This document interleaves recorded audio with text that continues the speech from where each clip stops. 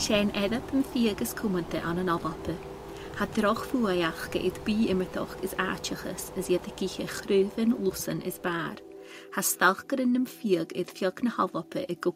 na bgione er son go. My name's Ben Paholic and I'm a deer stalker in my spare time in Fife.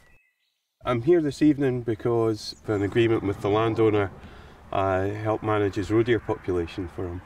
I'm local to the area and assist them with managing what numbers are here and ascertain the, the quality of the deer and do what I, what I can to ensure that the, there's a healthy population that's not causing too much impact on the farming enterprises or the forestry.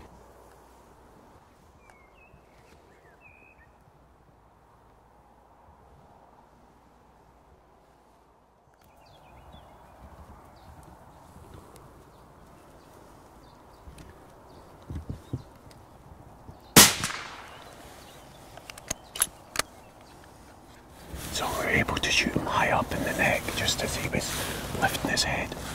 He's completely unaware that we were here, not stressed at all. Um, so he's reacted exactly as I would expect with a high neck shot. He just absolutely dropped on the spot.